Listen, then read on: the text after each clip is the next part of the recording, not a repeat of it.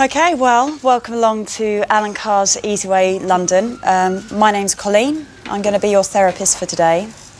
That actually you can find it easy to quit smoking. Instantly, permanently, without having to use any aids or gimmicks, without putting on weight, without using willpower. You can actually enjoy the whole process of quitting smoking and then never have the slightest desire to smoke again. Um, our approach today is going to be focused on removing your fears of being a non smoker. And to do that, we're just going to look smoking squarely in the face and identify what it is that makes you believe that you would need to spend the rest of your one and only life shoving those filthy, disgusting objects into your mouth and setting light to them.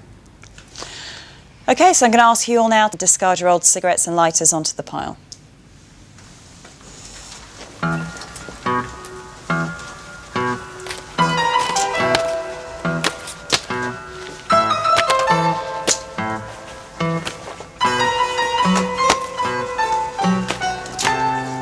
Congratulations, you are now a non-smoker.